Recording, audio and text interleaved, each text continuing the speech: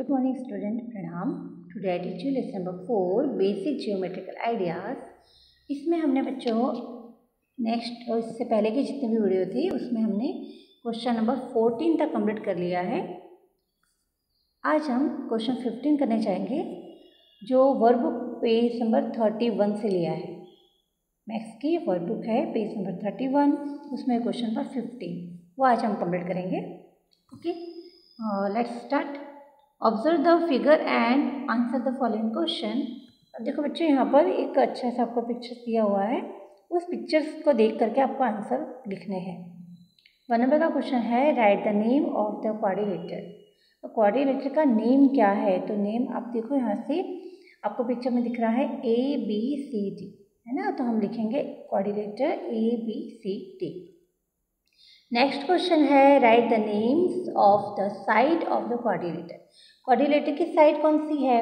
अब इससे पहले की जो वीडियो में मैंने आपको बताया था कि साइड जो होती है, उसको कहते हैं, जैसे कि मैं आपको इस पिक्चर में दिखा दूँ तो ये जो है बच्चों, ये साइड होती है। हम्म? इसके ऊपर जो है, वो भी इस तरह से साइड की नहीं जाएगी। ओके? तो हम लिखेंगे कैसे?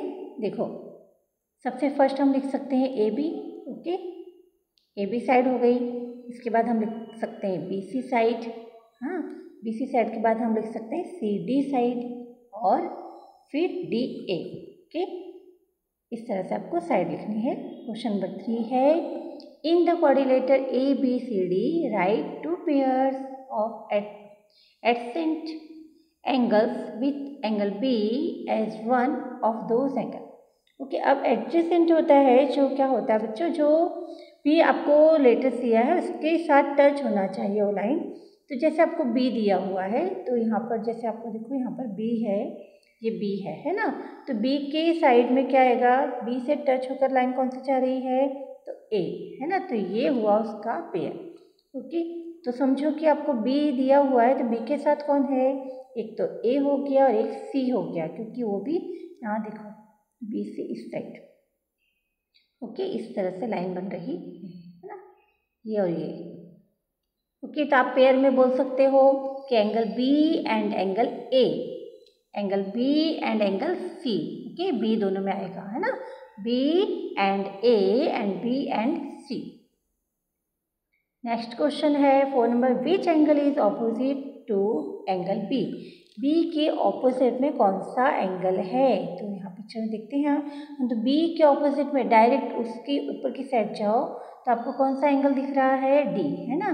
तो यहाँ पर देखो बी के एग्जैक्ट सामने है आपको डी दिखाई देगा। देखो, ये बी है बी के यहाँ पर ऑपोजिट में डी है। इसके बाद है question number five name the side adjacent to side A B अब ए बी जो मैंने आपको बताया था बी से टच करके जो लाइन जा रही है, उसको आपको देखना है। अब यहाँ पर ए एंड बी लिखा है तो उसकी साइड आपको बतानी है तो हम फिर से पिक्चर में चाहते हैं। यहाँ देखो, ये देखो, ये ए से, ये लाइन टच होके जा रही है तो ए डी हो गई। बी से तो बी सी हो गई। ओके तो इसको बोलेंगे एडसियन साइड नेक्स्ट है आपका which side is opposite to D C D C के ऑपोजिट कौन सी साइड है? तो डी सी अब देखते हैं पिक्चर में डी सी कहाँ लिखा हुआ है। तो डी सी लिखा है यहाँ से यहाँ तक, ये साइड है। तो इसके ऑपोजिट साइड हुई, इसकी एग्जैक्ट सामने वाली साइड तो हुई ए बी ओके अब है question number seven how many diagonals does the coordinator have name them कितने डायगोनल्स दिख रहे हैं इसमें आपको? तो आपको आप डायगोनल्स के लिए आपको देखो बच्चों, ये देखना है। जो ये लाइन दिख रही है, ये ये बीच की लाइन इसको हम डायगोनल्स बोलते हैं। ओके तो हम कह सकते हैं A C and B C है ना? A C and B and C ना? A C and B C ये हो गया इसका डायगोनल्स ये टू साइड टू डायगोनल्स होते हैं। कौन कौन से होते हैं? A C and B D अब है question number eight can be call the coordinator as a polygon of four sides give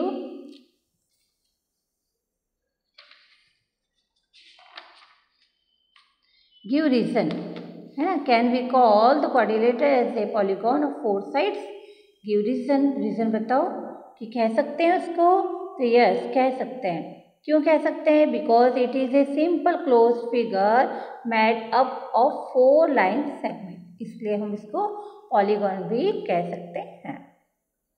अब एक्टिविटी में आ जाओ। Draw a triangle and name its vertex write the names of the side and angles of the triangle okay अब हमको एक draw करना है triangle का। उसको नेम दे देना है। है ना? उसकी वर्स वर्टिक्स बतानी है, फिर उसका नेम बताना है और साइड और एंगल बताने हैं। तो चलो हम यहाँ बताते हैं। सबसे पहले हमने ट्रायंगल ड्रॉ कर लिया, उसका नेम दे दिया हमने ए बी सी इसकी वर्टिक्स कौन सी है? मैंने आपको बताया था बच्चों कि वर्टिक्स इसको कहते हैं। ये जो होता है ना कॉर्नर का साइड उसको वर्टिक्स कहा जाता है। तो वर्टिक्स हो गई।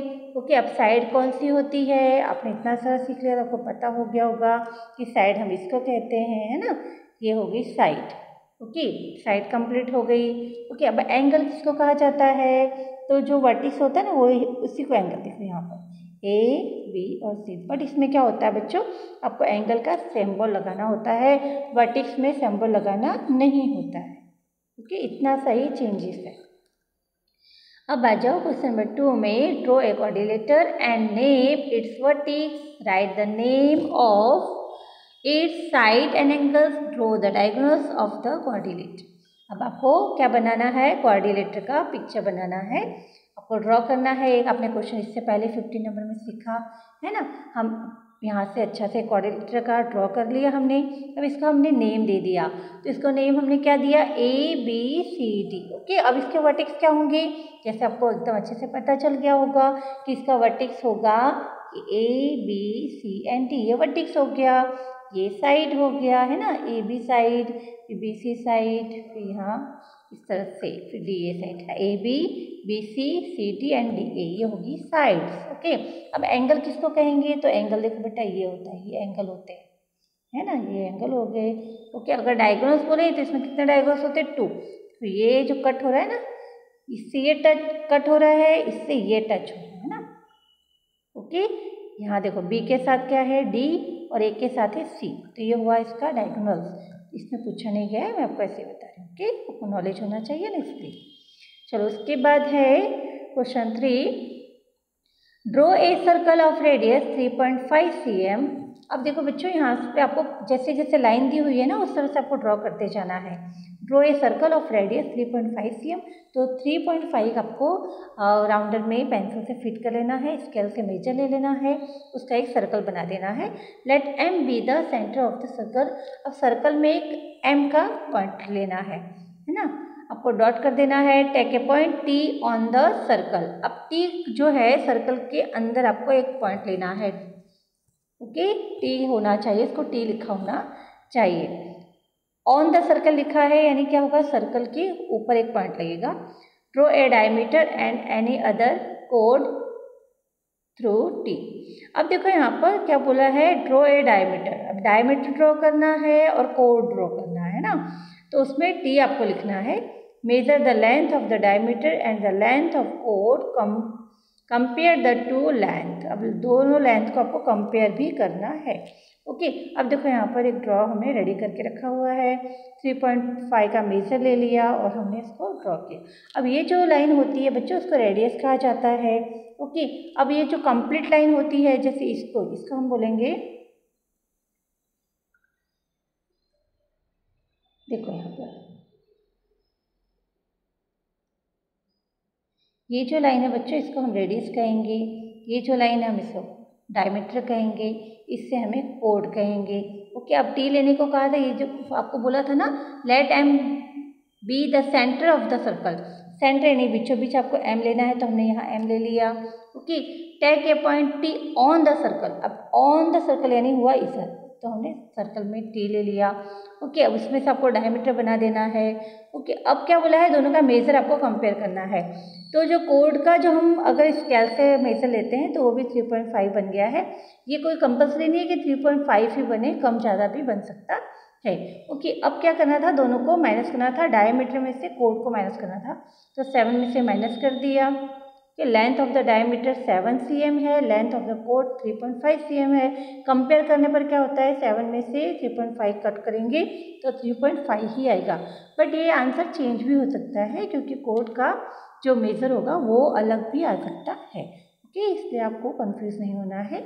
ओके यहाँ पर आपका ये चैप्टर फिनिश होता है। ओके मुझे आशा है कि आपको ये चैप्टर बहुत अच्छे से समझ में आ चुका होगा। Okay bye children